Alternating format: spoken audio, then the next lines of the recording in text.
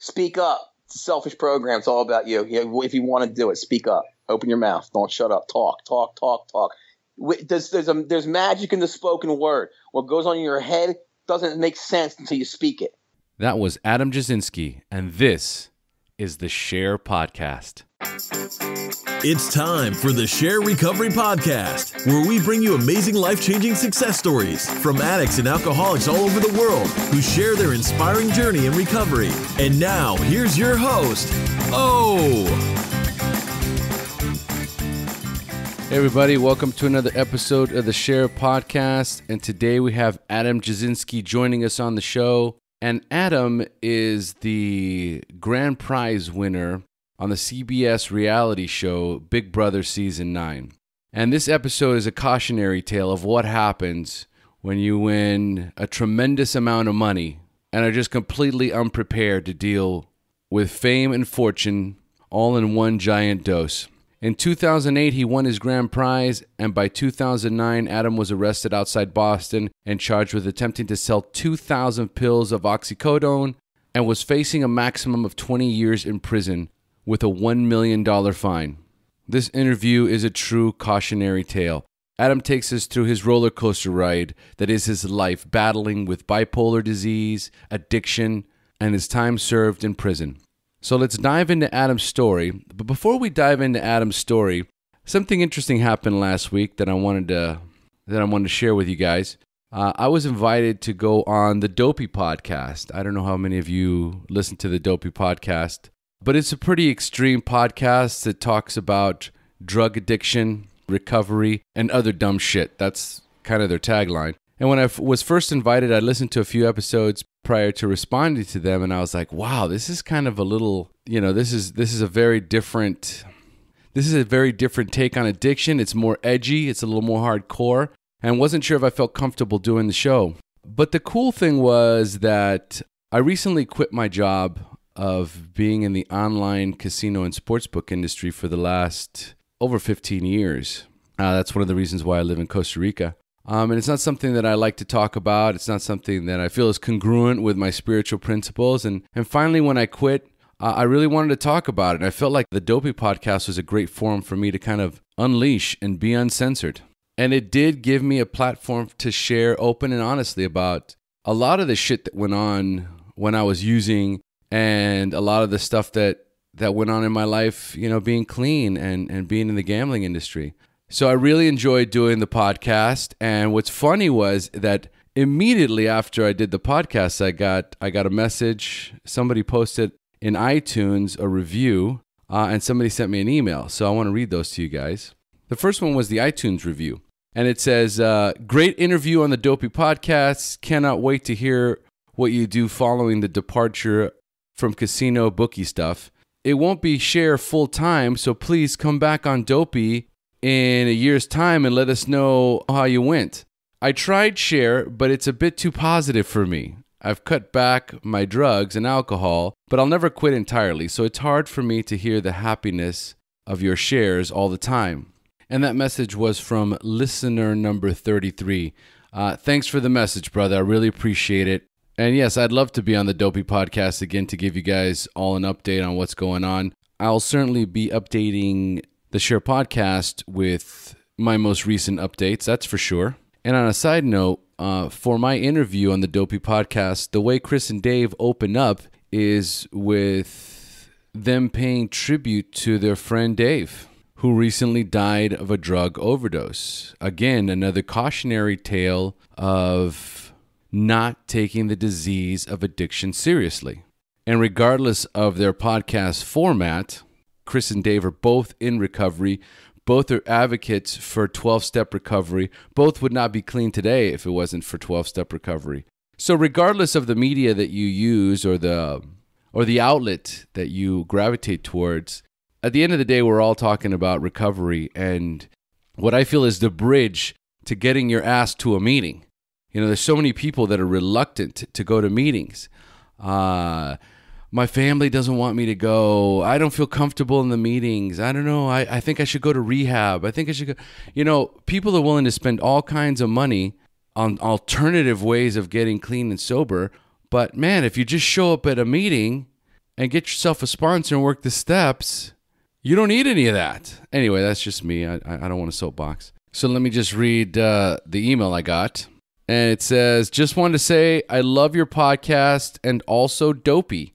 It was so amazing to have my two favorite podcasts together. Cool to find out that you were in the sportsbook business. I could tell that you had a little bit of a crazy past, but it was cool to identify with your wildness while using. Thanks for doing Dopey and keep doing what you're doing. And that email was from Scott. Thanks so much for the email and for the love, brother. Hope to be on the Dopey podcast again soon. Um, at the end of the day, what's important is being able to reach out to people and connect with them. This is a disease of disconnection, man. And if you do not connect with people, then you're alone. And trying to get sober, trying to get clean on your own, as far as I'm concerned, is impossible. We need each other and we need some sort of a program, whatever you decide to choose. But you need a program, and you need connection, and you need support. And that's basically what I wanted to, to get out to you guys. You know that uh, you know I've been in Costa Rica for a long time, and I've been in the online gambling business for a long time, and it's not something that I'm proud of, and it's not something that I've discussed before. But when I quit recently, man, um, it was the best decision I ever made in my life. And now my wife and I are going to open up a tattoo parlor. So that's the most exciting news of all. We're so excited and we can't wait. So uh, I'll be keeping you guys posted uh, as we start to build out the location. I'll be giving you guys updates. Um, it's an exciting time. And again, it's all because of recovery, man. All because of recovery. I'm trying to live a life based on spiritual principles. And everything I do in my life has to be congruent with those principles. So here we go.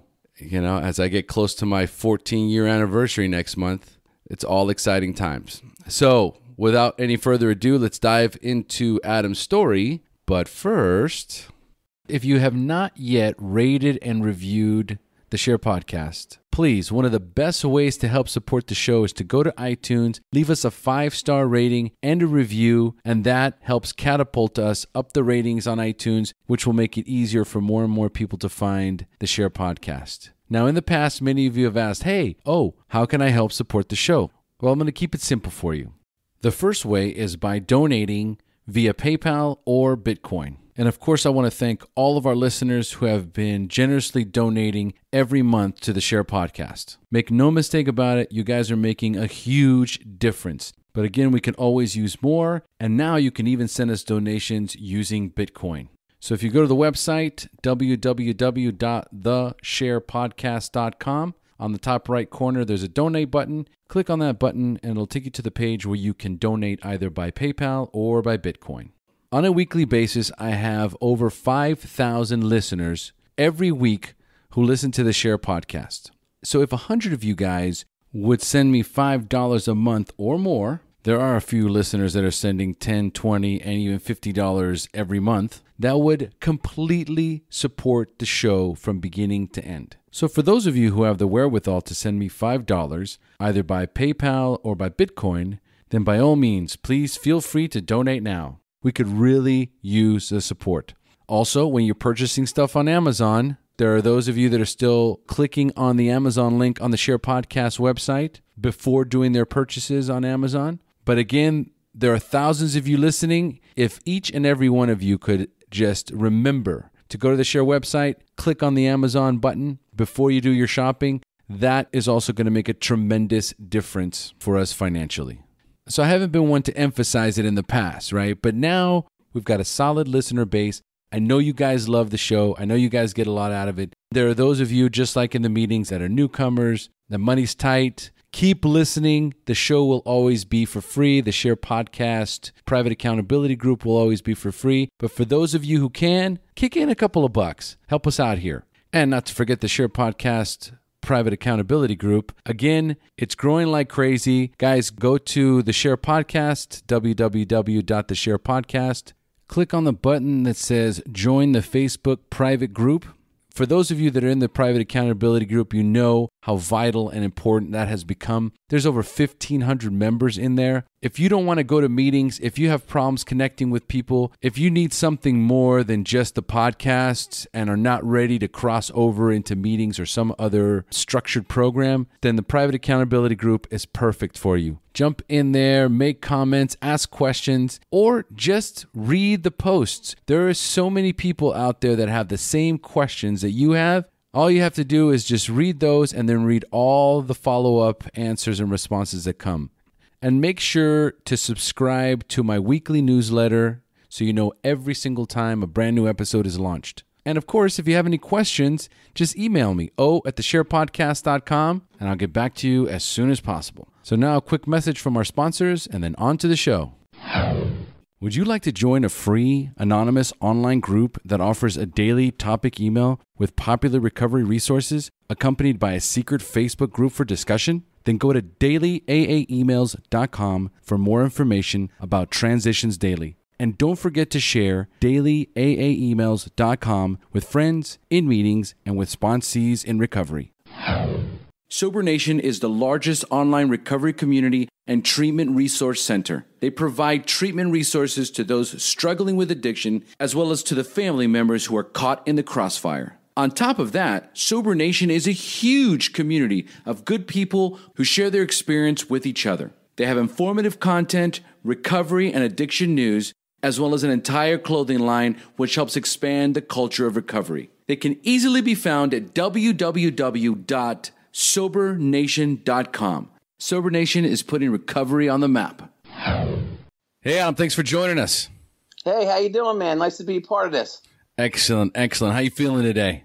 I'm okay. Long days every day, but uh, I'm back in the saddle, ready to talk about you know sobriety and the benefits of it, and how everybody can enjoy their life and have fun still. I hear you. know, I Without hear getting you. banged up every day. All right. So, folks, today we have Adam Jasinski joining us on the SHAIR podcast. Adam earned a $500,000 prize on the CBS TV series Big Brother season 9 in 2008. And on October 19, 2009, Adam was arrested and charged by the DEA in North Reading, Massachusetts with possession of 2,000 oxycodone pills with intent to distribute. Adam admitted to funding his illegal venture with the $500,000 winnings from the show and to buying and reselling oxycodone pills for several months. Jasinski faced a maximum of 20 years in prison and a $1 million fine. Heavy, heavy stuff, Adam. Woo. Heavy. Did I get all the details right? Yeah, what a, what a, what a, what, a, what a dark cloud that was. in your life, man. Jesus. See you later. Absolutely. Actually, I actually got off probation last week. oh, no kidding. Uh huh. Dude, that's- years probation. What? A, Oh, what a wow. Yeah, it's 2017. Yeah. it's like I for, it, it was so long I forgot about it already. I'm like, oh, I'm on probation still. It's like you don't even realize it at some point. Dude, I love it. Listen, I paid my I paid the cost. I did what I had to do, and like I was telling you earlier, you know, I quit smoking cigarettes. I said to myself the day I went, they locked me back up. I said, this is my last cigarette. I said, if I'm going to do four years in jail, I'm going to quit smoking cigarettes so I can live four years longer. You know, what I mean? nice. Nice. So you're done with the cigarettes. I paid it back. Yeah, I, I bought my time back. I guess. Good for you. Good for you. All right, folks. So prepare yourselves. We're in for a bit of a roller coaster here. So uh, let's get started. You ready to dive right in? Dive right in. Whatever you want to know, I'm here to tell you. Okay. So per- first of all, give us a snapshot of what your daily routine looks like, including recovery. For me, it, it got hit when I got locked up that day on October 10th. I was laying in the jail cell, and I was more pissed off that I couldn't do coke no more.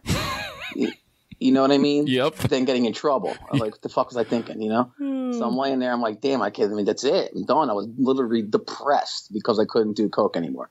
So for me, it was, you know, I got locked up. I went to a rehab for the first time uh, for a six month inpatient. And then when I got out, I went to University of Pennsylvania and actually to a, a, a mental health program. I applied for a study while I was out on, on like parole or whatever before sentencing. And um, that's what difference my daily life is now. What I learned in the mental health outpatient program versus the, you know, the treatment substance abuse programming is what really changed my life. You know, there was certain things I wasn't doing in my daily routine that learning that through the mental health program for my bipolar to just to manage it ke- keeps me free and clear of drugs for I'm good, man. I figured it out. it's crazy. I, I, just have to go to bed every night. I need to sleep. I need to eat good. I need to go to the gym. I mean, I need to shut down after five o'clock, you know, every right. day, and not work like a maniac 24 hours a day because my whole life was go, go, go, go, go, go, go, go, go. And then to the point where, you know, something didn't go right or my body was just shut down. It was like, get high, you know, get high, get fucked up, you know, and I was a professional at like medicating myself for so many years just to manage my symptoms, you know, versus actually learning the program, learning why I do drugs, learning what the ideas of sobriety are and getting those fundamentals down, you know, applying them every day. And then on top of that, for me, it was, you know, the mental health component was a whole separate animal altogether. Right, right, right. So on a daily basis, because we were talking a little bit prior to the interview about, you know, how you work your recovery, how you work in your recovery right now. You mentioned something about your mom. Yeah, she owns a program um, here called Oceans Medical Centers. It's in uh, Wheaton Beach, Florida. And I mean, if anybody knows anything about South Florida, where you are like the cesspool mecca of rehabilitation. And what rose above it that we saw down here and she saw lacking was the mental health component. So, you know, my day to day is pretty much involved chipping in and helping her out. You know, with the kids that come to, in our program, there's anywhere between 20 and 50 people in there that are really having a hard time. You know, they're 90% are under 30, like 30 days clean. And you really, and on top of that, they have, you know, whether it's somewhere in the spectrum of schizophrenia or mania, depression, bipolar, whatever, they're there. And it's for me, it's like I get up and that's what I involve myself in and surround myself with every day. You know, it keeps me on track and keeps everything up front, you know, and see where they come from. And then the dynamic switches, I guess, you know, I'm not them anymore. I'm more so on the other side. So I'm more of like, wow, I can get that to these guys. Okay, so tell us how you maintain your spiritual condition, that conscious contact with a higher power on a daily basis. Oh yeah, I'm with God 100. percent Like He held my hand through the darkest times, man. I was in sleeping next to murderers, you know, and came out untouched. So, um, and then when you're in jail, everyone believes in God. You know, it was. I mean, uh, there's plenty of it was, it was, all access. You know, religious was all access. So there's big Christianity in there. I was, you know, raised Roman Catholic, and you know, just reading the Bible was something I did in Big Brother. Um, if you ever watched the show, I read the Bible. There's the only thing you can read in there um, is the Bible. There's no magazines or newspapers or nothing. So I ended up reading the Bible front to back like three or four times while I was in there. Wow. Yeah. So when I got locked up and got in trouble, it's like when I got out and was partying, like I was telling myself, like I'm not going to do this shit. You know, when I get out, it's going to be different. The, the, minute I got out of the Big Brother house, there was coke and fucking pills. You know, it was a matter of two hours. Right. You know, and I was fucked up again and back. And you know how addiction is. Once you stop and start again, it's even worse. Mm-hmm. Absolutely. So, I had that three months clean time while I was in the Big Brother house, and I got out and I was just on fire. You know, plus they're paying me to go everywhere, which is insane. So, tell us a little bit about the the Big Brother. What is that the the Big Brother series?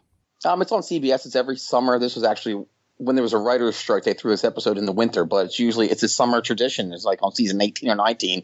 It's kind of like a Survivor deal where they lock like fifteen strangers in a house, and then each week you vote somebody out. So it's based upon like manipulation and scumbagging people to actually like be the last one left, and you win a half million bucks. Wow. Okay. All right. I got you. It was on national TV. Six million people every episode watched the show. So when you get out of the when you get but you're locked in there, it's like there's no contact with the outside world for three. It's like being in jail, basically. You know, there's no phone calls, no telephones, no nothing. All you see is the people in the house with you. So it's like a strategic mind game to end up being the last one left. Why do they call it Big Brother? I don't know because like they're watching. Like Big Brother's always watching. Ah, I guess. Ah, okay. Now I get it. So here, my my my first impression of it was like uh, when kids need a bigger brother. Yeah, yeah, what's yeah, that? yeah. What do they call big, that? Big brother, big sisters, whatever that is. It's yeah, always- exactly. So that's what I was thinking that it was. It was something like a positive thing. No, it's a cutthroat reality show. Oh, yeah, hardcore man. And I and, and I and I never watched it. I just ended up knowing somehow one person. I actually worked for Donald Trump on The Apprentice, and I met like this casting lady there, and they put me on the show somehow. Just guys got fast tracked. It was just crazy how it all happened, but. I never watched it myself, and like I literally, they sequester you in like hotel rooms for like a week or two before the show starts because Uh-huh. people break. People mentally like can't do it, you know. got it, got it. So they'll put you in like a hotel room in, in Los Angeles with like a laptop with no internet, you know. And I so I went and bought every season before mine and watched it in like 1.5 fast forward, like you know what I'm saying. yeah, that's awesome. So I kind of like brushed up on how it worked, you know, and got the basics down pat. And then I went in there and just kicked fucking ass, dude. I was done. Easiest Okay, money ever made. all right. But when you get out of there, you're locked up for three months. If you last to the end, it's a three month process. So I ended up being the last one there. When you get out, it's like boom, it's everyone. It's a whole different life, you know. It's like Right. you just won a million dollars, and people have been watching you for the last three months on TV, three times a week, you know. So you're kind of in demand for a little while. So I went to a lot of nightclub appearances. They'll pay me to like go to like county fairs and state fairs and all this other crazy shit, man.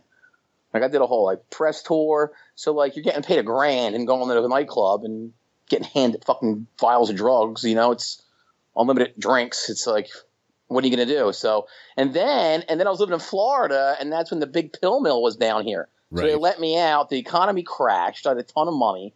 I started buying real estate and pills. That's what I did with my money. Bought a bunch of real estate and a bunch of pills because they had like mobile MRI machines here in South Florida. They would like literally pull up to your house and do an MRI out front and just fill your script. It's crazy. Wow, that is crazy. Holy shit. I'm just trying to imagine this craziness. Oh my Yeah. god. Dude, that is nuts, man. So so real quick, how much clean time do you have? When's your anniversary date? Eight years, October 10th. Nice. Nice. It's gonna Excellent. be eight years, October 10th again. It's gonna be eight years. Dude, it's amazing. It's a fucking miracle. I know. For crazy sure. how fast it goes too. You know, it's like the next thing you know, I'm like, damn. Because when I remember when I first got locked up, I went to get a sponsor, and I was like, you know what? I'm gonna find the guy with the most clean time that gets pussy that has a nice car. You know, that's who I'm gonna hang out with. That's what I want. That's me. You know what I mean? So I'm gonna out with that dude. And I'm like, Ralph had 25 years. I'm like, man, if I can get one, and now I got eight. So, so I feel like I'm Ralph now. You know what I mean? I got the nice car and I got a hot girl. So well, there you go. There you go. but it's the blessings of sobriety. Without that, I couldn't have it. You know, without being in clear head and like I never, like since I was thirteen, I was never going to clear. I mean, just for me, it's just like the clearing of it out. It took like a year or two to fully like detox myself. I like I swear I had so much opiates in my system. I would still feel them. like laying in my prison bed, like my back would still pull at night, like I'm withdrawing still. It was just insane. Yeah, it is insane, but it's true. and now that I'm in like the whole like recovery and like the business end of things, there's like active detox and passive detox for my fats, my body. You know, like when I would do like strenuous activities or whatever, like afterwards it would release that stuff. Still, it's weird. Yeah, yeah, yeah. No, I've heard I've heard horror stories about kicking the opiates, man. Like that oxycodone and fentanyl and Ugh. and when you get on the Suboxone, Ugh. you know, like all that shit, it gets it it just gets nutty. Nuttier and nuttier and nuttier. and it's wiping. Listen, it's wiping people out down here. It's in, in, in Delray Beach in like South Florida and Palm Beach County, man. It's like epic numbers down here. I don't know. It's bad in the country, but like this is like I think where, where I'm at. It's like it's a recovery mecca, and where I don't mean I can't believe there's so much heroin is accessible in a town like this, you know. But where there's addicts, there's going to be drugs, I guess, you know. yes. And Yes. it's just so sad, man. Like it's seriously a problem. But I guess I never injected anything. I never shot heroin or anything like that. So I don't know if I mean not to like gauge how bad someone's addiction is, but I think like these kids I see down here on a regular basis that are you know that shoot heroin have a lot harder. So I give them a lot of credit, man. To get sober off of that, it's it seems like that you can really see the struggle on their face, you know. It certainly does seem like it gets you know the the the degree of intensity and addiction of these drugs especially the pharmaceutical has, has like gone through the roof like the minute Ugh. you use one you're like you're done you're hooked Done. And they're saying that like down here, they're saying that they're like they're tracing back like where it's coming from. It's like meaning China and like the Middle East. They're like it's like terrorism almost on our country.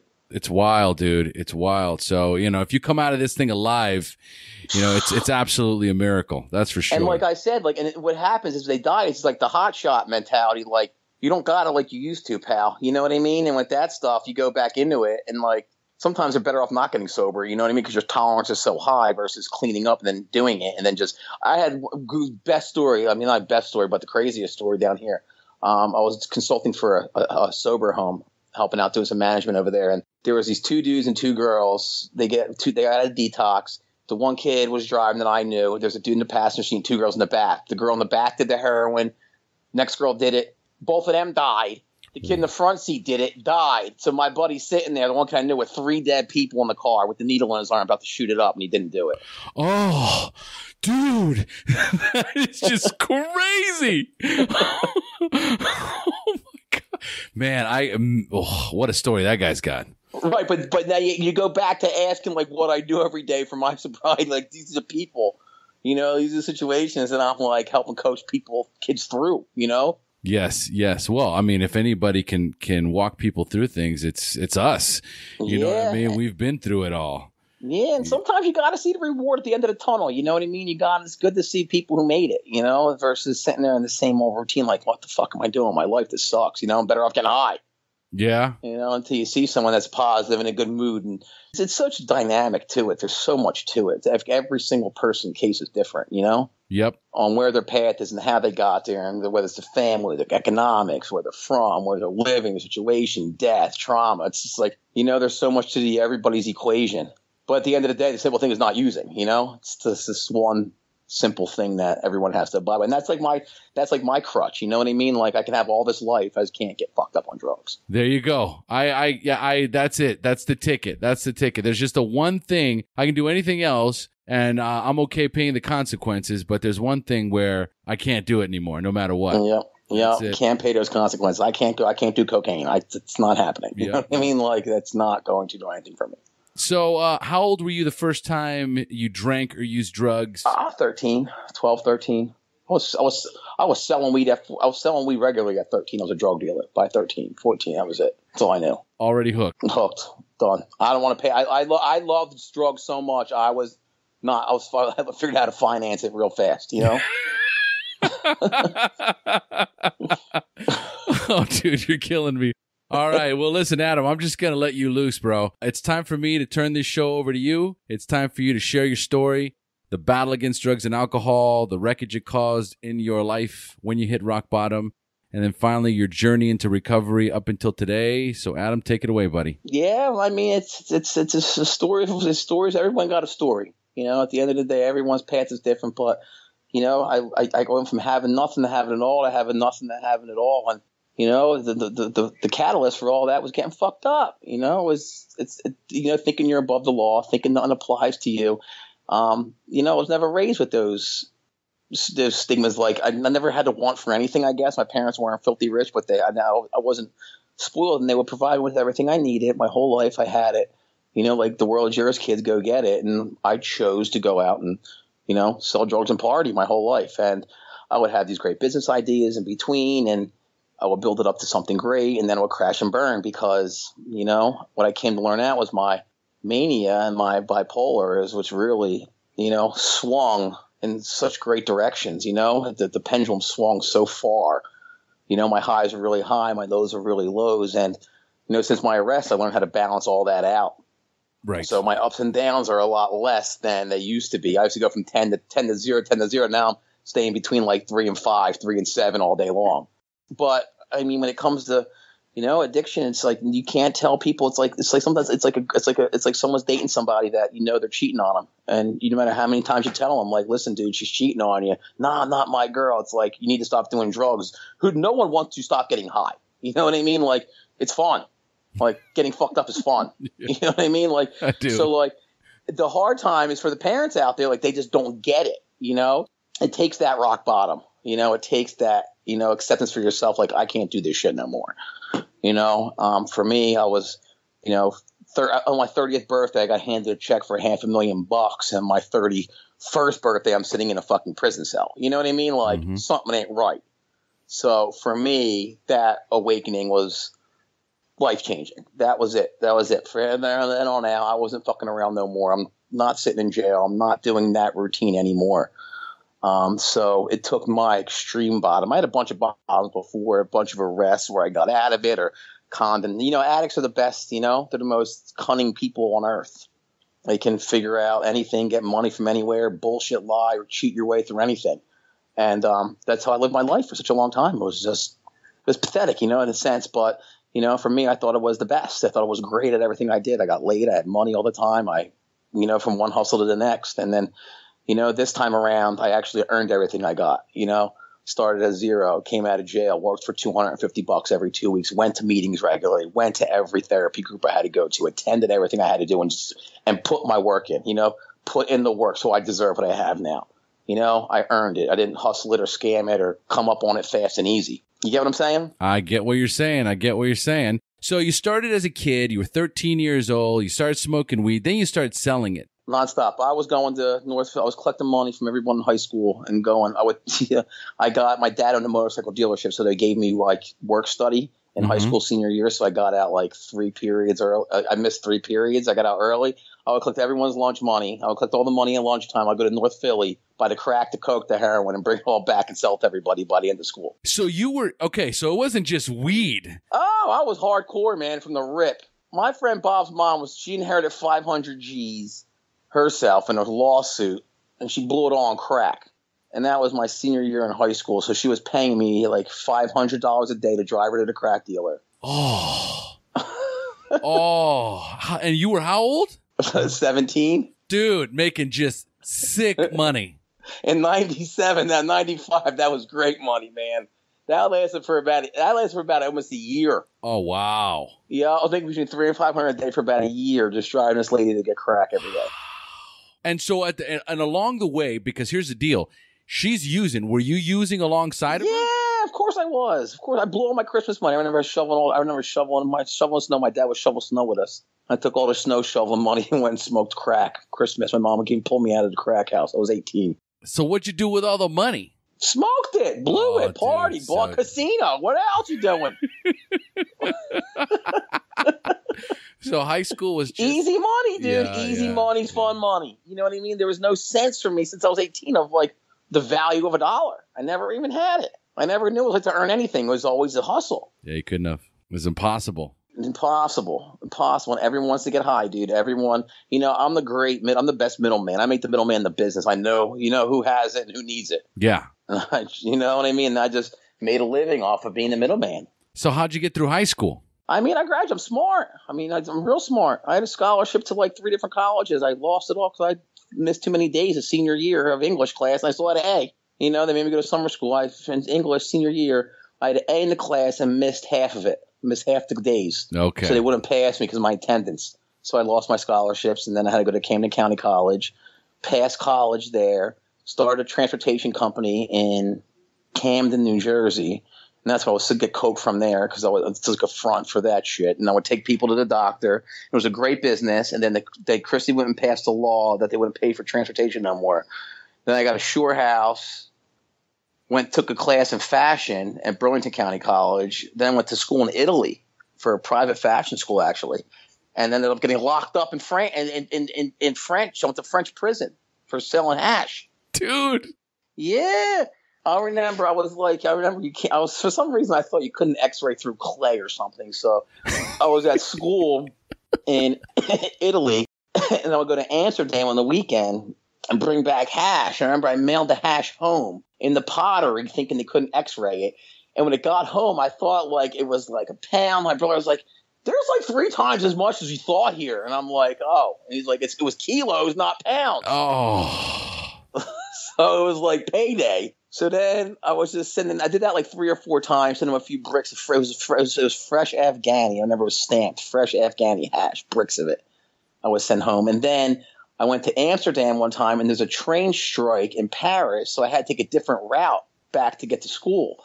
And I was sleeping on the train, and I guess like the douanes is called French customs were like get up, and they were like there was weed in like the ashtray on the train, but it wasn't mine. It was weird. And I was sleeping, and they were like, "Get up, get up, American, get up." And I got up, and then they saw like I hit it in between the the, the train seat. They saw a little bit of the plastic, and they locked me the fuck up, dude. And I did. I went to trial, to tribunal, and there was dude in a wig was my lawyer. And it was weird. And he was, I was like, what are you doing, dude? You know what I mean? Like, I met the guy before, and they come showing up in a fucking wig. I'm like, what the hell are you doing, dude? And there's like three people in front of me. Like, it's like, it's not a judge, it's like, it's a tribunal. It's like three people decide your fate. And I heard him say something like six, seven months in French. And I swear to God, I don't know what happened. I started talking fucking French, dude. And I, and I, I don't know how I did it. And I negotiated my sentence down to like three months myself. Wow. And you spent Yup. three months in a French jail? Yeah. What was that like? It was crazy. It was, yo, it was right after 9-11, right? Right? And France colonized Algiers, like then like this Islamic terrorism stuff. Listen, I love everybody, you know what I mean? But France colonized Algiers, and this is a Muslim country. So now like generations grew up in France. You know what I mean? Like it's like my grandfather came from Poland in World War II. You know what I mean? hmm in America. Like, so France colonized Algiers. Their parents go there, and the children are there. So, like, the prison was like eighty percent Muslim. You know, in France, and it was right after America, and these dudes were like, "Fuck you, America! We love Bin Laden." It was crazy. and meanwhile, he's wearing a Georgetown Hoya sweatshirt and Lakers sweatpants. what the fuck? You know what I mean? and my roommate was this crazy Russian militant that got locked up for plastic explosives or something like that. And he was like, "You're a good guy, don't worry." So you have to like go outside and like bump cigarettes, like tobacco. You go promenade, put tobacco. You know, you have to go for a walk after tobacco. So he was he like ended up like beating these Muslim dudes up, and he's like, "Don't fuck with the American no more." And then my job was to weigh bolts out. Like they put together like the BMW and Mercedes visors. But they also sold bolts. Like, you know, when you go to the hardware store, they sell like packs of nuts and bolts? Uh huh. Yeah. but you have to weigh them because that's how they know how many bolts Okay. to put in there. Right. And I sold tons of drugs, so I was like, "Watch this, fellas," and I would just eye up the weight every time. You know what I mean? And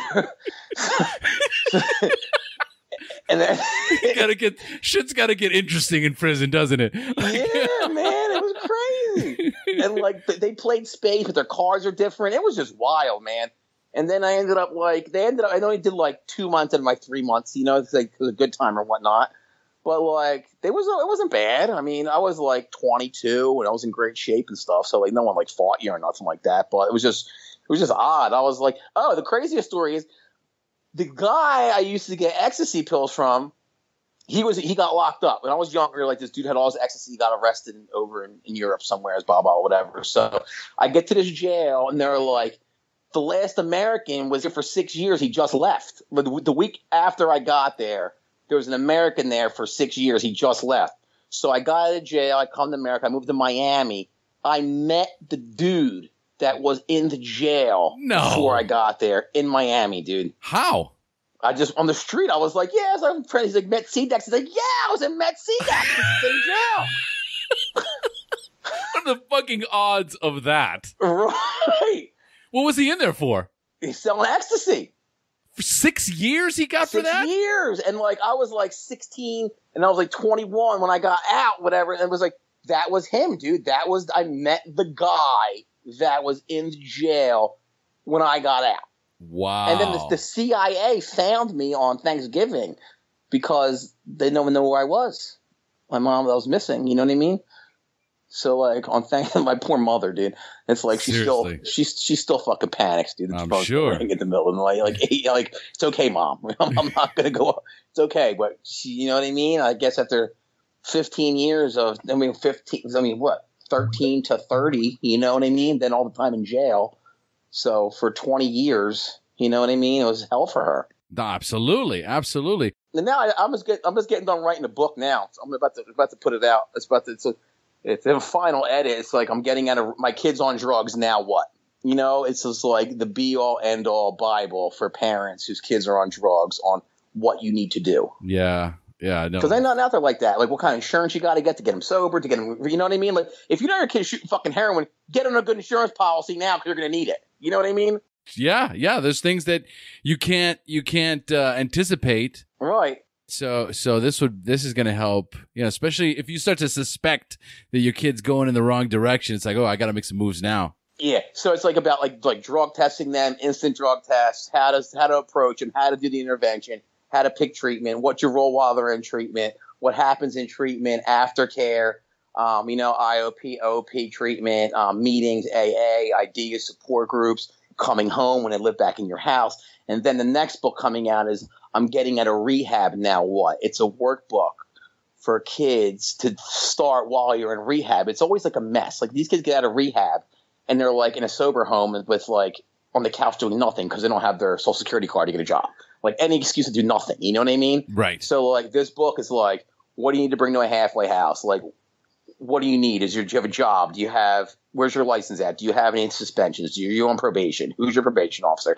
What sober home do you want to go to? What to bring to a sober home? Like leave your granola bars in your bedroom. You know what I mean? Like don't leave your detergent in the laundry room if they're going to use it. You know? yeah. It's like the dumbest shit, but like. 90% of these kids in treatment down here, it's either you're in jail and you're going to the public way or they're going to go to the private way. You know what I mean? There's, there's, there really is, you know, a, a separation of that. Either you're insured and you're your parents and they're going to take care and send you to rehab, or you're going to go to a jail. But either way, it still applies. You know what I mean? Like if you're getting out of jail, you're going to go to a halfway house, like I did. You know, like a Salvation Army type place. Or Okay. if you're going to get out, if you're going to get out of a, a rehab, they have like sober living homes. You know, transitional living where you stay with a bunch of addicts, which I believe really helps because you know even when you start dating when you get sober, you know how they say like the 13th step or whatnot. You know, like. But I mean, in my solid opinion, I see so many kids that live in a halfway house and don't get laid. They sit there and do their program, and then the second they get an apartment, they get a chick and they're fucking back on drugs. Yeah. They can't handle stuff like that. You need to start courting a girl. You need to start talking to women while you're in that controlled environment, so you can say, "Hey, I have to be home by eleven o'clock." You know what I mean? Like, let's hang out, good movie. I'm going to go home. It's not like because guys get clingy. You know what I mean? Or girls get insecure, and it's like you need to start doing that to set yourself up for success. You know, there's a lot of there's a lot. For me, I figured out how to live, enjoy life, and do things without doing the drugs. You know, because a lot of people can sit in rehab for sixty days. You know what I mean? Yep. That's the easy part. You got no cell phone, you got no computer, and you told what to do every day. You got to cook your own meals, you got to go grocery shop, you got to wash your. Oh man, this one kid, this one halfway house, man, I'm sitting there, I'm like, you know, I was, I was working for one for a halfway house company for a little while after I got clean down here in Florida, and I was, I, I, I checked the houses, you know, TV's off, the air conditioning set. They think they think on makes the house cooler instead of auto. First of all, that's insane. Like on your air conditioner Uh huh. like the auto setting, the, the on setting doesn't make it cooler, but they think it does. And then I walk in the back, and this kid's sitting there in all black, like ready to go to wait tables, and his in his bare feet. And I'm like listening, and I hear the washing machine running. And I'm like, "Don't tell me, dude." And he's like, "Yeah, I need to clean my socks." He had a full lo- a full tub of water with two socks in there. Oh. Like, like I don't know what the fuck I'm doing. Like, you know, seriously, I got no idea. Like, like, put it on small. You'll be out of here in 20 minutes faster. But I mean, like they did, and you can't get mad because like they don't know. Like mommy and daddy nowadays do everything for everybody. Like it's just so crazy how it's crazy, man. Like everyone's on their parents' insurance till 26. Like they like it's encouraging kids to be more dependent on your family. You know what I mean? It's like postponing growing up in a sense. It's weird. So then you got out of prison. You were in France, right? I was in French prison. This is this is back when I'm like 21, 22 right now. This is like 21 22. I got out of prison in France, came to USA. I got my degree in fashion design from like the best school in the world. Um, and I told school, this is a lie. I told them. I said I was in France for the weekend, and I got in a bar fight and hit a cop on accident. So I lied to them on what happened. That's You know a what I good one. Quick thinking. Right. And that was quick thinking. They're like, oh my God, poor thing. So they graduated me anyway, you know? So then I came back to America. I was living in South Beach. I had a girls' clothing company called Girls Who Kiss Girls. It was like some like nightclub clothing line. I sold a bunch of it and ended up selling it. I sold the label for like a couple hundred grand. Oh, And then I went and got a job for The Apprentice for Donald Trump in New York City. I was a task producer on the show. I like created the challenges they all did in the first season of the program, which was a real cool experience. So I actually worked for the president. It's kind of cool, you know. yeah, right. I met him. I, I met him like every week. So it's like it was cool. Like I know the president, so it was kind of cool. Well, back in the day, is he this? Was he the same asshole that he is today? Listen, I grew up outside of Atlantic City. Okay, so he owned the hotels and casinos. So everyone where I'm from always hated Donald Trump. You know what Okay, I mean? they all yeah. thought he was an asshole. But I ended up working for the guy. Believe it or not, he's not as bad as you think. He, like he portrays me an asshole, but like it, underneath and like it's, it's it's weird. Like how it has it set up. Like in the back of Trump Tower is like where he has like all the softball trophies and the jerseys and everything. It does like it's like a big softy back there. You know what I mean? And no one sees that. Okay, so there is that side of him that that have faith. There is a side and that's okay. You know what I mean?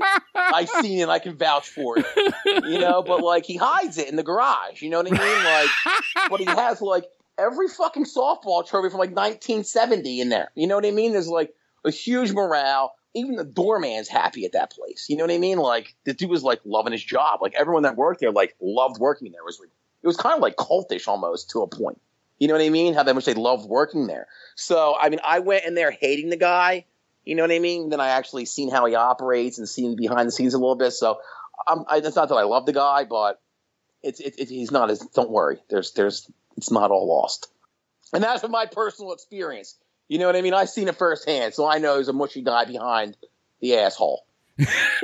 but like he, he but he but he, he he sets his set up. He sets it up so no one sees it. You know what I mean? It's strange. And like I just like like no one even goes in the garage, and I, I, I go everywhere. I just, I'm, I, I'm almost a nosy person. You know what I mean? so I'm just walking where I'm not supposed to walk at because I work in the building. You know what I mean? Right, right, right. And I saw all this stuff in every trophy and these big display cases and stuff in there, and so it's like there's a sense of like camaraderie. You know what I mean? In there, which is kind of good, I guess. But eh, this is just a fucking mess with this whole thing going on. And, and I live in Palm Beach County now, so uh, there's like he comes here every weekend. You know what I mean? I, li- I, li- I live four miles from his Mar-a-Lago house. Now, have you seen him since he got elected? Yeah, I, mean, I haven't seen him. I've seen the motorcade. Okay, yeah, you I can't get close they- enough. I mean, I'm sure. You no, dude, they closed no, this place yeah. down over Yeah, here, man. yeah, it's yeah, insane. So it's like, and now it's really. Like they, they closed everything down. It was a mess for a while. I'm sure. I mean, just the traffic and everything got all jammed up, and people down here are like disgruntled about it. But you know what I mean? It, it tis his life. You know, you can't have everything you want every day. Right, right, right, right. So then, okay, so then from there, right, from the so you were on the you were actually on The Apprentice.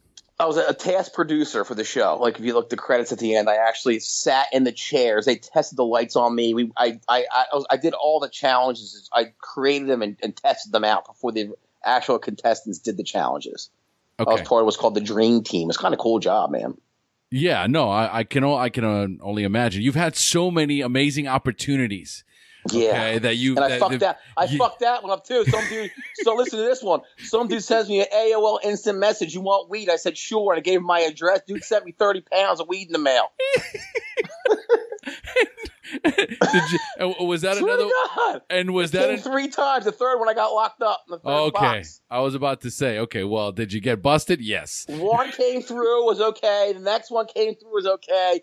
Third box. Listen how crazy. There's always something crazy. There's an anthrax scare, and like DHL searched all the boxes and found it. That's how I got caught. They told me. Oh, dude, it's like, who would have anticipated that? Right. but who on AOL? Like, who says yes? Send me weed. I don't know. I'm like an idiot. Oh, dude, you, I, you'd be surprised. Like, I got an AOL instant message. Like, Bing, you want some weed? I said, sure. Sure, why not? You know, you think, wow, I just won the lottery. A fucking computer box came in, fucking packed, dude. It was insane. That is crazy. So then, how Yep. did how did this whole brothers thing come into play?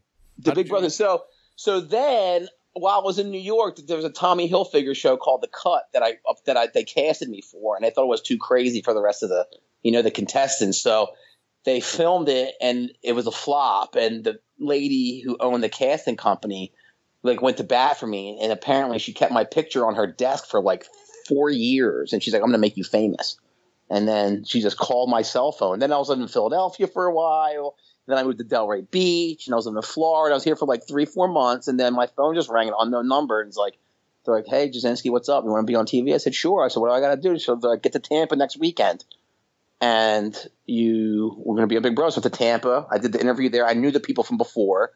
Um, I did the casting, and then they flew me to California. I did the casting out there, and I guess they liked me. So then I guess the whole way. Listen how crazy this story is.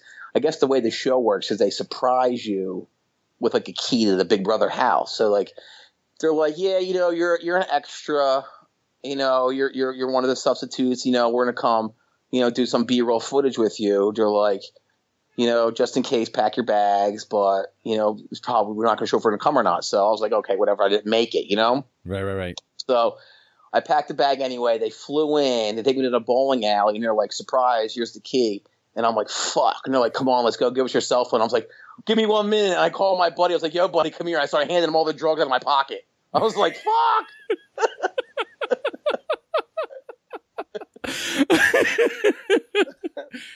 Holy I was- cow! I was loaded down, dude. I had all kinds of weed and pills and shit on me. I was like, "Here, take it, buddy." So they took me, and then like I kind of withdrew on TV for a little while. You know what I mean? Oh, that's wild. So okay. Yeah. Because I was, I was taking pain pills, so I had like a script with me, and I ran out when I was like in the house, and they found it and they took it, and then I went through withdrawal on TV for like oh, three days, and then it wasn't that bad, and then I was okay, and that's when I was like, right, I got three months sober, you know what I mean? I ended up winning five hundred fucking grand somehow, some way, and I come out, and the, the economy is tanked. I bought a bunch of houses, man, but it was great. The econ- everyone else is broke, and I got five hundred G's. You know what I mean? So what the, was this 2009, right? Yep. Why would you buy? Pro- well, no, at that point it already tanked. So then everything. I, got, every- I bought. I bought. I got four unit, four unit house, four unit property, quadplex for seventy G's. I got a four bedroom house for twenty five grand at an auction. Oh wow! Yeah, I, I cleaned up. you So actually made some smart moves. Yeah, that's when I got out of jail. I loaded had- like I- a I- freight train. Yeah, I got out of jail. Now they're all worth a bunch of money. So I ended up. I ended up on the other, on the better end of the stick, I guess. You know what I mean? But my mom, my mom's in real estate. She's like, listen, I know you're getting fucked up. She's like, I'm taking take that money and you're gonna buy houses. Nice. Yeah, so that was the best thing I did. I ended up coming out owning three houses outright, you know, when I got out of jail. So I, I kind of had a little jump start, but still, you know what I mean? They were a disarray. I left, you know, when you get fucked up and it all hits rock bottom. I left a lot of my parents' plate, you know, a lot of loved ones I hurt. You know, my girl went out. She was with me before I even started. She stuck by me, and it's just, you know, I put you, you put everyone through a lot of shit, you know. Yeah, totally, totally. So, so leading up to that, so here it is. You get the you get the 500 G's. You start buying properties. You start buying drugs. Tons Right. of pills, dude. Tons, of pills. You're, you're you're dealing. So, Yes. how was the bust? Oh man, I was flying all over the fucking country, dude, selling pills all at the TSA. They all knew me from Big Brother, dude. It was like free pass. You know what I mean? Yep, It's uh-huh. crazy. So then the dude actually called me. It's fucked up, dude. They, like they don't play like. Oh, I guess I, I never watched or looked much, but I guess from like what they said, like the audio tapes, whatever they had, like they don't play the parts where they're like fucking begging you. So it was like a total fucking scumbag setup, dude. Like they bought me a ticket to come up, and I was like, no, dude, I can't come. I'm not doing this. I'm not doing this. I'm like, no, I'm not coming. I missed the flight. I didn't want to do it. And then the dude was like, my girl's in the hospital. My dad, my dad's in the hospital. I can't get my car at the shop. I knew this kid for like ten years. You know what I mean? Right. He's like a buddy of mine. As he's like, you know, my car's in the shop. My girl can't get a Halloween costume. He's like, blah blah. Buy you a ticket now. I was like, no. And like the cops like bought me a ticket to fly up there. But to me, it was only like, I mean, there was only a couple scripts. You know what I mean? Like they're giving you two, three hundred at a clip down here. Correct. So like your sense of, you know what I mean? Like for me, that's only two prescriptions. What I brought up there, you know what I'm saying? Three prescriptions. But to them, it's fucking eight years in jail. it's all about perspective, man. Yeah, it is. Like when you're sitting there with fucking piles of them Yep. scripts all day, it's like, oh, I'm good. And then you get there, they're like, holy shit. So they use one of your buddies Yeah. to okay. Well, that wasn't considered entrapment. He, well, I guess he, got, I guess he got jammed up somehow. You know what I mean? And then he told on me, and he, and then I guess to get himself out of trouble, he set me up. Right. Got it. And the and the code word was like, I need an eight ball. So I got off the airplane, I guess, and I was in the car with him, and it was like he called. He's like, "He able to call my buddy and get some coke?" I was like, "Okay, cool." And he's like, "Yeah, I need an eight ball," and I was like, "That's fucking weird." You know what I mean? Uh huh. And then he pulls in the CVS parking lot, and like all these three agencies run down on you, and I didn't know one's putting your hands up, one's your hands behind your back, one's on the ground. I'm like, "What do you want me to do?" you know what I mean? And they all started fucking jumping on me, fucked my neck up. It was a mess. It was a mess, dude. It was, it was a mess, and I was up for four days on coke. I was a mess. I was up. Fuck. I was a train wreck, dude. People in the airport were staring at me like I had three heads. It was embarrassing. It was horrible. Yeah, I can only imagine the insanity. Oh, I, sl- I slept good. Dude. I slept for like four days, dude, straight. Like I'm done. so they got you right. Got me. Okay, got you. And then they t- they haul you to jail, right? So how long did you actually spend in jail?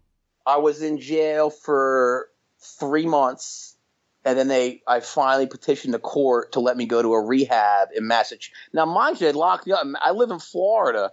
They locked me up in Massachusetts. Yeah, what's up with that? Right? They flew me up there, so I had to go to court.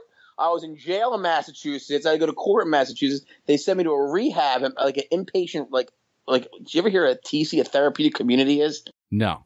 Oh my god, it's fucking insane, dude. It's like you have to pull each other up and telling everybody. It's a, it's it's it's it's, it's insane. But it got me sober. You know what I mean? It taught me about Alcoholics Anonymous and talking about Narcotics Anonymous and the program and the steps and all that great stuff that saved me. You know, Right. those principles. It's something to live by. It's it's great information. Everyone should learn that stuff. You know, everyone should know those principles and ways to live your life because it works. So they put me in Spectrum RP for six months. I do the program. So now I did three months in jail. They said if you complete this treatment program, we'll let you go, you know, to your parents' house in Philadelphia and like address your mental illness and you know get your affairs together before sentencing. So I was in. I did six months there, and then they then they gave me release. So I then I went to I did out an I, intensive outpatient program in New Jersey, in my parents' house. They let they let, they let me stay. They put me on house arrest um, in New Jersey at my parents. So I stayed there. My girl came from Florida, stayed up there with me.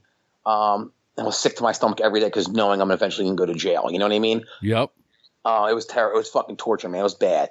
So I went to the outpatient program. Then I was like, something's not right. You know what I mean? And my lawyer had me talk to like a forensic psychiatrist, and he was like, "You, I think you're bipolar." And I was like, okay. So I went online. I was like, bipolar studies Philadelphia. So I Googled it, went to University of Pennsylvania, one of the best schools in the world.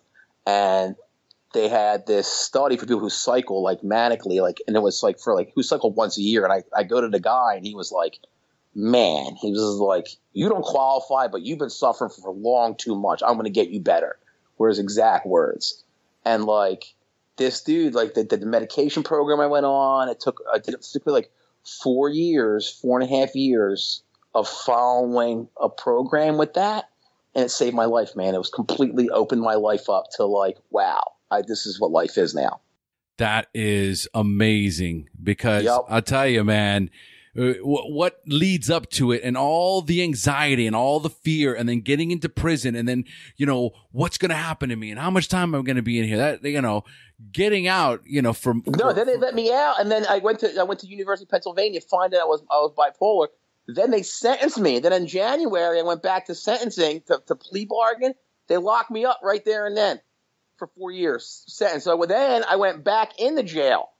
So I got out on bond since, and then I went to got then I went to UPenn, came to my parents' house, got my medication, finally got my mental health address, and then they said, "You're pleading guilty. You're going to jail right now." So they put me in jail to await sentencing. So they were trying to give me eight years. So somehow, like, because I was still on probation from the thing in New York, and then Right. my mom got a letter from them. My mom did all this crazy work. My my girl did all this crazy work, and then ended up getting me, you know, a four year sentence. But I already served a few months, you know, of that already. So I ended up having like three years left. I was in Boston. Then they transfer you. Now, the way the feds work as federal charges, they designate you to some random prison. It's so crazy how the system works. So I was in Massachusetts. They transferred me. So my destination prison was Morgantown, West Virginia. This is like the Club Fed. Like Barbara Walters, like I guess it was on TV. They put me in this Club Fed place, and it was all like the guys from Wolf of Wall Street were there. It was all like No way. Yeah, dude, I'm telling Get you. Out. I was with some real fucking pros, dude. And so the way you get there is they fly. I, I go from. Oh, this is a great story. I was in MDC Brooklyn. I was in. It was in Massachusetts, and I go. They they they bust me to Brooklyn, MDC Brooklyn, Metropolitan Detention Center Brooklyn. On Univision, this is the craziest story. On Univision, like I have like a Google search for my name, and anything comes up, like a Mhm. daily update. Yep. And then I got one like two weeks ago or three, like a month ago from Univision. It's a story about El Chapo, how he's in MDC Brooklyn, and it's Uh-huh. all in Spanish. And my name is in there with El Chapo is like famous, re- famous people who were in this jail. Oh, wow. So it's like El Chapo, and then it says me. It's crazy. so, so I guess I made it when I'm in an article with El Chapo. You know what I mean? Oh my god, that is wild. So, Yeah. so in other words, uh, can we can we really say you did hard time? I did hard fucking time, man. It was bad. They put me on Con Air, so then they fly you from. I had to get to West Virginia. I had to go to Oklahoma City. So they put you on an airplane, just like the movies, man. There's a dude in a mask and everything on there. It was insane. So they put you on a they put you on an airplane. They fly you to Oklahoma. The air the jail is on the runway. So the airplane pulls up. You walk off the airplane into a jail Oh wow. then they transfer you there and they flew me to Pittsburgh and then I took a bus to West Virginia. So then I was in West Virginia and did my whole sentence there. In there, I did what's called the RDAP program. It's a fifth, it's like a 500 hour drug abuse program. Hardcore, dude. And like, so basically the whole time I was gone for four years, my job was treatment. You know, my Right. job was meetings, sobriety, like beat it into me. Like I conditioned myself over that time to live the right way, you know? So when they finally released me to the Salvation Army for like in Florida, took a bus to Florida. And it was so crazy, man. I didn't smoke a cigarette now for four years. The second I got off that bus and was free, I reached to my pocket for a cigarette, like knowing it wasn't there. Ooh. You know what I mean? Like that's Yep. how ingrained that that like that habit is. So like, and it was, and I had that sensation for a while, and then after I after you eat at the Salvation Army, everyone would go outside and smoke cigarettes. So I like made a not like like like a decision to just go upstairs and read my book. You know, so I was like, when I'm done eating, I'm gonna go read my book. So the hardest part wasn't the drugs. The hardest part for me was not smoking. Believe it or not. I know, I believe it. Dude, I have talked to more people that say quitting the cigarettes was by far the toughest thing I had to kick. Yep. Cause you know mentally it fucks with you, you know, because it's like, well, it's not really uh like a drug drug, it's not a narcotic, you know, Yep. and it kind of like uh, I can I can take care of this later, right? Yep. So so you can But just that was the promise I made myself. The day I got to sentencing and got put back, I smoked a Marlboro 100 out front. I'm like, this is my last cigarette I'm ever going to have. You know what I mean? So for me, that was the, I never promised myself the drugs. I never promised nothing else. The promise I made me, you know, I was like, I'm not smoking another fucking cigarette. I'm so I'm going to live by my time back because cigarettes will kill me. You know? Yep. So go figure. The one thing I promised was the hardest thing to deal with, of course. So I just never smoked a cigarette after that. Never again. I'm That's done with crazy. cigarettes. Thank God. Yeah. And then, but but then my mom quit, and like oh, she was like, oh, they smell so gross, and I'll be like, well, you used to smoke. I was like, gross. Now I know where she's coming from. Now I think cigarette smoke is disgusting. Yes. Yeah. Well, you're fortunate. You're fortunate that now that that, that is part of your, your your makeup. Like the genetic makeup is like you smell it and it's like, oh, it's disgusting. Yep, done with that. Better than if you're outside and people are smoking. You're like, oh wow. Oh, right, Smell- right. Yeah, well, yeah. Seriously, Right. seriously. That's one I, of them. I call it a spiritual awakening, right? Like, ah, man, like I hate this shit now. Yep. Versus like, give me one of them. Like, I wish I could have a cigarette. So there's no cravings. And then like with the drugs and stuff like that, it's just like you know, you try and be normal and stuff. You just have to like. It's for me. It's like just I drive myself everywhere I go. You know what I mean? I never get stuck in a situation I don't want to be in. Right. You know, because you, I mean, you can't. I mean, it's hard. Some people like try and isolate themselves from everything. Like, you know, life goes on. Like for me, there's life after drugs. You know what I mean? Like the conversations in my day. Like I see these kids every day at the treatment center. It's not like I don't even talk about drugs with them. You know, I talk about like jobs and girls and fun and what are you doing with yourself. You know, Absolutely. like at some point in your life, it has to move. pa- For me, I think it's imperative to move past the drugs. You know, to fully recover well, of you know, you have to be. I mean, if you're still everyday drugs, drugs, drugs, or drugs, or alcohol, alcohol, alcohol, alcohol, you're still, you know, conditioning your mind to be involved with yeah, that. if you're romancing it, if you haven't found a way to to walk away, detach yourself from the romance of it all, it, Yup. it really means you haven't worked the program. Yep, exactly. You know, Exactly. you, white knuckled it for a while, you got off the shit, and then all of a sudden you're like, Yeah. I remember that. And then, and anytime there's a little bump in the road, your first thought is, you know, th- this How much easier would it be? Yep, yep, yep. Now listen, here's the thing: I was googling you, right, and I found this this horrible picture with you and Matthew McDonald. Oh my god. So you know, uh, so so this is stuff that in the midst of it all you're dealing with because you're you're this this figure, you're this public figure, and you know, like everybody's like, wow, this is amazing, you know, just like everything else, you know, when, when you're on top, right, you know, everybody's the doors all open. Yeah. Then you hit, you, you know, you, you hit, uh, you know, a moment like this. So you and Matthew were the guys that were distributing. Is that what it was? Were you guys? Yeah, he, I was hooking him up too. You know what I mean? He was he he, uh, he had to make money too. Okay, so he was he was also says here it's this is horrible. More legal troubles for douchebag Big Brother contestant. it's horrible. It's fucked up. I love it, dude. Dude, you got to now. You have to laugh at it. You have it's to, the you best. because it's been Well, like, fucking listen, eight it's not years. like I'm calling you talking on the radio now, like, hey, I'm at a jail, look at me now. You know what Yeah, I mean? of Like, course. my life has substance now. Like, I, I help hundreds of people a year. yeah, no, you're part. You, you've you've recovered, right? Yep. But in the midst of it all, this these articles come out like that's got to just weigh on you like a ton of. Yeah, well, they stopped coming. You know what I mean? When I got out of jail, I seen them all, and they kind of was dead by then. You know, it's four years later. So now, like, I did the thing with the Philly Voice. I did an article, Entertainment Weekly. I just did. I- uh, They they they're doing a piece on me in April. You know, so it's starting to catch track. You know, I'm doing the right thing now, so all that should get pushed away. But it was tough seeing all that. It was a big pill to swallow.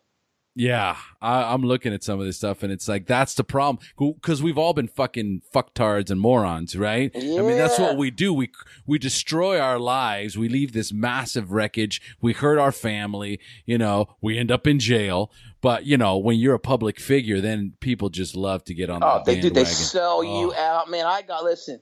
Oh, fucking a, dude. People rob, pillage everything, and forget when, especially when you get locked up, dude. All your shit's gone. no one cares about nothing. I came out, my car was all smashed up. You know what I mean? Like Ah. fucking great. You know, I go on the GPS in my car, and it's like New York City. You know what I'm saying? Like, what the fuck is in New York in my car? So then, yeah. So then, so then you get out of jail, right? And you've been doing, at this point, you've been eating, breathing, sleeping, recovery, going to Yup. meetings, reading, reading the Bible, reading recovery literature. So it's become this, you know, you use that time to the benefit. Dude, I your- got out of jail and I bought houses in the rehab capital of the country, man. Delray Beach, fucking mecca for rehab. I started buying properties. I started working with sober livings. I started getting into the business. I was consulting for different companies and Excellent. you know, I actually started working at a call center. You know what I mean? While I was on house arrest, and it was a it was a long road to get there. You know what I mean? Of course. And it was it was very awkward. I was very scared. I was nervous. I was afraid to go out. I was afraid to even go in public. I was just nervous. I was going to want to get high. I was nervous to talk to the wrong people. You know. So I just they put you on house arrest for six months. So it was really like I just worked and went to meetings and did my thing. You know. So it kind of got me acclimated. But like, after you get free for a while, you know what I mean. You're left to your own vices. So I really started like you know, working with people who own halfway houses and like working. I worked at a halfway house. I worked for a big sober living company for like a year. You know what I mean? Really? Yeah, I had a great position over there. I was like, I was like, I was like one of the executives for a big, huge sober living company that owned like hundreds of beds. You know, and I did great with them. And I learned the business. I learned the industry. I learned about the recovery business, and then I started doing consulting for other companies and. You know, and eventually got to the point where my mom was like, "Hey, look, you know, you know so much," and her, her good friend daughter died of a heroin overdose, but um, Terrible. ended up being I know. So they were like, "Hey, let's do something here." So I saw down here there was only like there's 300 rehabs in Palm Beach County, but there's only two mental health centers. You know, and the problem is people ship them down here for rehab. They get cleaned out and they get sober like me, and they're like, "Hey, it's not the drugs aren't my problem. There's other things." So if you can picture it like this, if you're there's like there's different tracks, you know, like if you're you know, hearing voices in your head and you're in a group of a bunch of people do heroin, you're not going to talk about your voices because they're going to make fun of you when you get to the housing. You know what I mean? Right. But if you're in a bunch of people with like, hey, his voices are way worse than my voice, you know what I mean? I can talk Uh-huh. about it. Right. So. I mean, that's what I'm doing today. And it took me about, you know, about good four, four or five years after jail, you know, to get to this point where I'm really, you know, doing my thing now. I'm starting to do some speaking. Got this book I'm finished up on. My mom is this treatment center, you know, and I, you know, consult a lot, a lot of different companies, you know what I mean? On their business model just for me, but from my experience, from what I know. And it's like the reintegration part of it, like from prison. Like I went to like this big conference with the Breakers, and like the world's premier guy was talking about it. And like they're clueless because they didn't do it. You know what I mean? Like it's kind of hard, you know what I mean, to practice in theory sometimes. yes, of course. You know, especially recovery. You know, you got to go through it. Like an addict helps an addict because you've been through it. You know what I mean? It's kind of Absolutely. Absolutely. it's kind of difficult sometimes for someone to tell you, you know, like this is what we got to do to reintegrate people better, you know, to make your life, your at your transition better. So my mission kind of is like, once you get out of rehab, I want to show you people how to live successfully. You know what I mean? Yes. That's what my mission is. And that's what you're. So you're currently involved right now in the mental health aspect. Yeah, it, it, it's substance abuse and mental health, but Okay. it's mainly focused on mental health. It's it's it's it's, it's a full Oceans Medical Center is a fully licensed drug rehab, IOP, OP, inpatient rehab, everything level of care. Um, but the speciality of it is like some have trauma programs, you know, some have substance abuse with, you know what I mean? This is like a substance abuse program that focuses on the mental health part. So there's two separate programs in the program. One's just for substance abuse. Like if you just do drugs, you can come great, get treated. But the real specialty of my passion is the mental health and the things because, you know, once I learned how to manage my mania, the drugs fell by the wayside pretty much. You know, but everyone's different. So there's there's there's part of demographics like, hey, you know what I mean? Like I'm an addict. That's what my problem is, the drugs. You know, for me, the problem is I was substituting the drugs just to, you know, try and stable myself. Correct. Correct. So then this is this is something that you and your mom own together. Uh, no, I, she, she's the owner. I don't She's own any of it. Yeah, I'm not. I don't, I don't own. I just I just help consult over there and you know do my thing as I can. You know, she's the one that owns it, and So her do and you her work partner for your their mom? thing.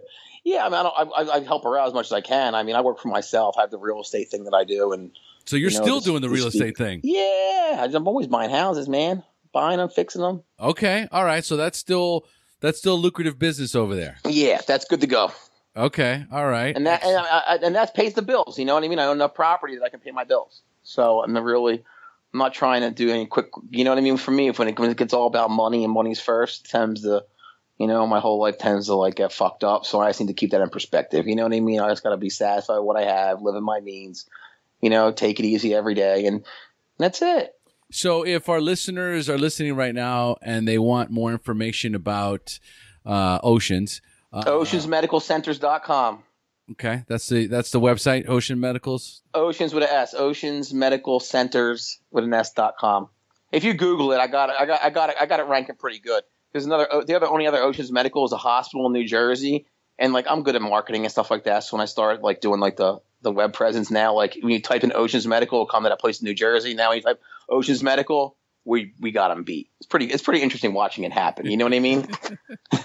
All right, so then uh, they can just. I'll have that. Uh, I'll have that listed on the. Yeah, listen. If anybody everybody. listen, dude, anybody needs to talk to somebody, needs help with anything. I'm a talker. You know what I mean? It's what I do. I talk.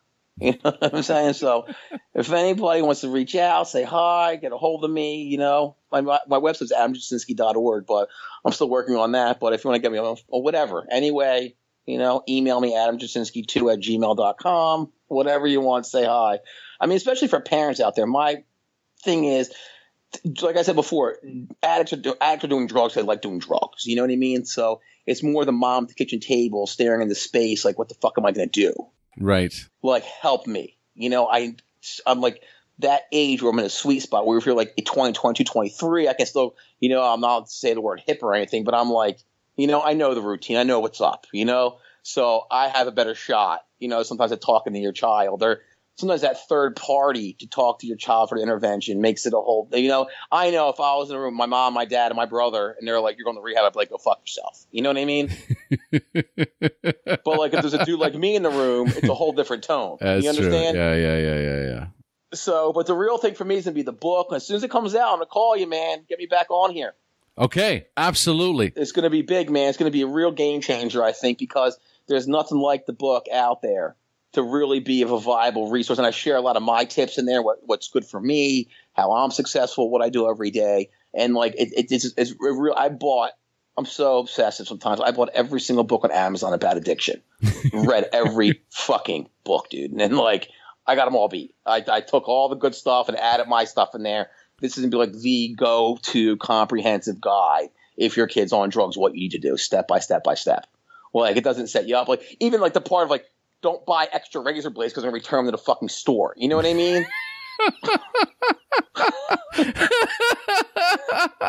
how to live. ABCs on how to live.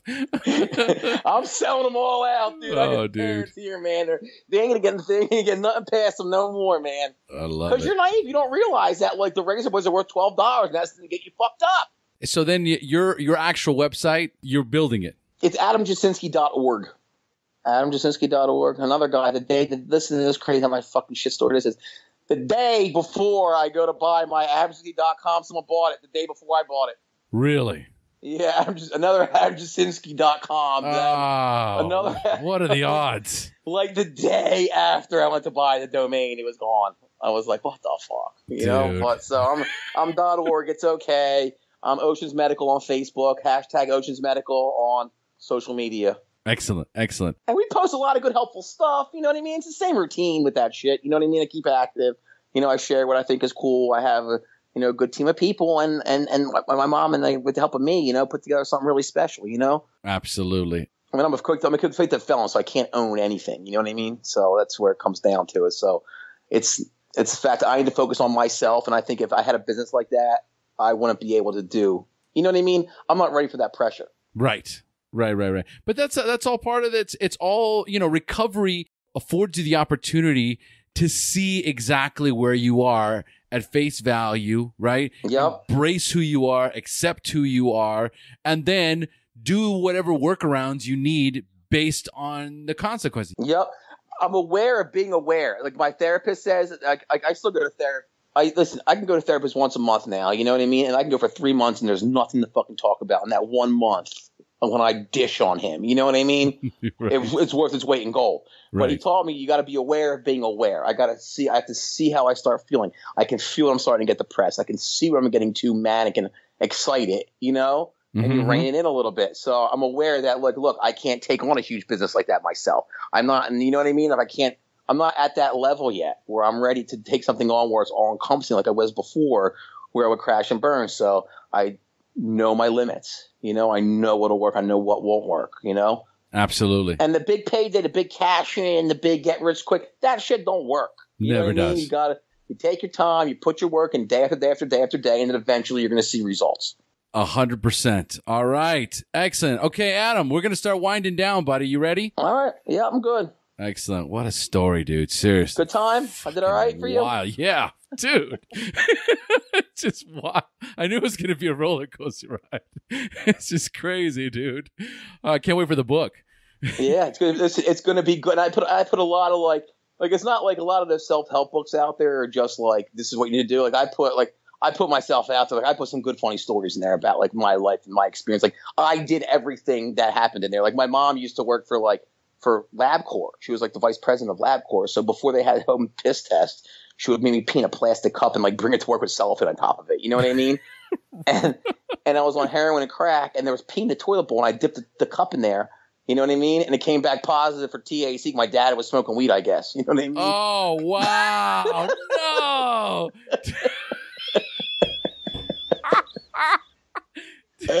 we are crafty, dude. It still backfired. yeah. But it It's better than crack, end, you though. know? I, I share all the good stuff in the book. You know, it's it's it's really. It, it, it, it makes it. I mean, you know, I, want to be the parents. You know, I want to be that that superhero to the parent. You know, I want to be available, accessible. You know, now at Oceans Medical is a team of professionals over there that can help. You know what I mean? If any mom at home who's alone, who feels like there's no one to talk to, like call Oceans. You know what I mean? Yep. Call them. There's someone there that's going to help you. There's someone will talk you through it. There's a voice in the phone that you're not alone. You know, whether they come get help here or not, you know, it's still having someone to help you coach you through the process, giving you tips, giving you pointers. Like parents are not alone out there. All right, so here we go. All right, so I'm going to ask you five questions about your early recovery, and I want Okay. you to respond with inspiring and insightful answers you can share with our newcomers. Are you ready? You ready? got it. Let's do this. Number one, what was keeping you from getting clean or staying clean when you first got introduced to recovery? What was keeping me clean? Uh, I mean, when, I- when I got first, my story is different. I first got introduced to recovery. I was under the facing eight years in prison, so there was never that. There wasn't much option for me. So I'm I'm I'm a one and done guy. Okay, question answered. All right, so then number two, at what point did you have a spiritual awakening, that aha moment in recovery when you accepted that you were powerless over drugs and alcohol, but for the first time had developed a hope that you could recover? Uh, when I realized that God was tied into the whole picture, you know, when I feel the higher power type thing was really was my aha moment. Like for me, the aha moment was the, the steps and the higher power thing. Like you got to surrender and give it up. Yeah. You know, when I when I found out I wasn't in control, when I stopped making my own decisions, is when I like it's not all on me. That was my aha moment. Let let let go and let God. You know what I mean? I take the wheel, dude. Absolutely. Get out of the way. Yup. Get out of the driver's seat. I love it. That's it. And like even when I'm all stressed out, I just take a breath. I'm like, God, it's up to you. It's okay. Deep breath. Take this fucking shit and do something with it because I'm tired of dealing with it. You know what I mean? And it worked. It, it works. It works. It's not like I'm doing. I want to keep doing what I'm doing if it didn't work. And that is the truth. For those of us who have managed to have long-term sobriety and clean time, it, it it's because it works. Our lives Yeah. changed innumerably, or we wouldn't be doing it. Period. Exactly. No, I get you. I get you. All right. So next question. If you could give our newcomers only one suggestion, the other one's already taken, what would that be? Speak up. Selfish program. It's all about you. you if you want to do it, speak up. Open your mouth. Don't shut up. Talk, talk, talk, talk. There's there's a, there's magic in the spoken word. What goes on in your head doesn't make sense until you speak it. Oh man, beautiful. Absolutely beautiful. You got to be able to open up and share. Once you say what you're thinking, it's some magic of the spoken word. Either the universe makes it happen, you realize how stupid your your thoughts have been. Well, you can be tormenting yourself for weeks over something. You talk about it, and it's like, what was I thinking? Open your mouth. That's it. Absolutely. All right. Perfect. Like for me, I'll talk. I don't care if even no one pays attention here or knows what I'm saying. I'm talking for myself. You know what I mean? To the point where I'm speaking, so I'm clearing my thoughts. Yep, absolutely. That's exactly how it is. Until you get that poison out of your head, it will kill you. Yeah, and the only way out is by talking it, yep. writing it down, or talking. I mind speaking. Speak it. Yep, pen and speak tongue. out of your head. Pen That's and tongue. Yeah, put it down. Put it down. Lay it down. Adam, awesome, bro. Thank you so much for joining us. Yeah, for sure, man. Thank you. This is great. This is great. Got my girl out there in the other room. She had no idea. No, she wanted to watch a movie. She wanted to watch a movie and chill. And I'm like, oh, I got a podcast. Got to go. oh man, I love it. I'm folks. coming, baby. I'm moving.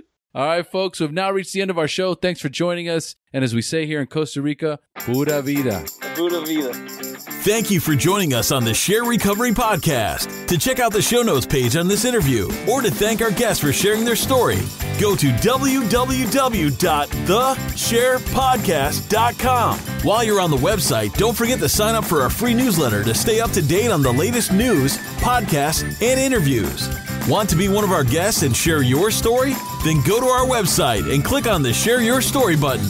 We share our inspiring recovery stories every Tuesday, so subscribe to our show on iTunes or Stitcher Radio to get your free weekly download.